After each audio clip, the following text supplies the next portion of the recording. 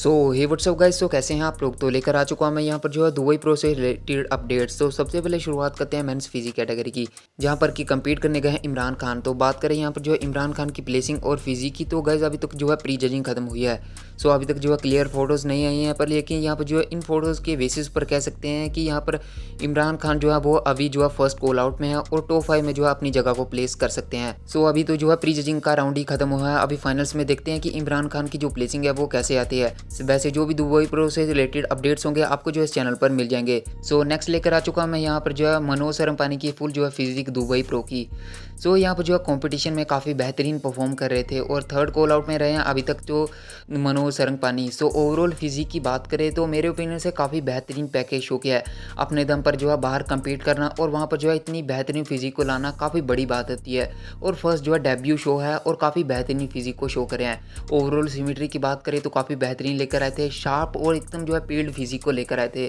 सो मेरे ओपिनियन से काफ़ी बेहतरीन फिजिक लाई थी। सो अभी देखते हैं कि इनकी जो प्लेसमेंट है वो कौन सी आती है। अब तो जो है थर्ड कॉल आउट में रहे हैं। सो लास्ट में बात करते हैं यहाँ पर जो क्लासिक फिजिक कैटेगरी में कम्पीट करने गए माइकल दैबुल की। तो पर्सनली गैज यहाँ पर जो आप माइकल की जो है ये टैनिंग की फ़ोटो देखो। इसमें माइकल की जो फिजिक है ड्रास्टिकली इतनी ज़्यादा शार्प और पीड़ लग रही है ना।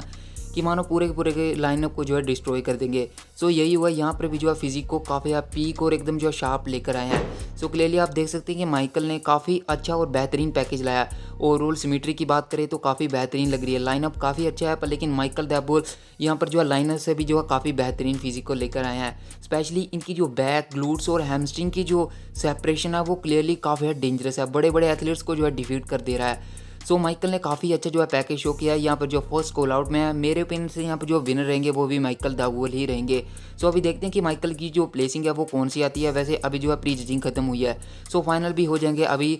सो वहीं बात करें यहाँ पर जो टू ट्वेल्व डिवीज़न की तो टू ट्वेल्व डिवीज़न में जो कम्पीट कर रहे हैं, वो है पीटर मोलनार तो पीटर मोलनार की अगर फिजिक की बात करें तो थोड़े से जो है सॉफ्ट दिखाई दे रहे हैं। सो काफ़ी बेहतरीन लग रहे हैं ओवरऑल फिजिक में जो मसल मास है, काफ़ी अच्छा है, पर लेकिन फिजिक जो वो थोड़ी सी सॉफ्ट दिखाई दे रही है। सो अभी देखते हैं कि फाइनल्स में जो पीटर का परफॉर्मेंस है, वो कैसा रहता है। सो उनसे भी रिलेटेड जो भी अपडेट्स होंगे, आपको इसी चैनल पर मिल जाएँगे, और ऐसी बॉडी बिल्डिंग से रिलेटेड अपडेट्स एंड वीडियोज़ के लिए चैनल को जो है सब्सक्राइब कर लें। Thanks for watching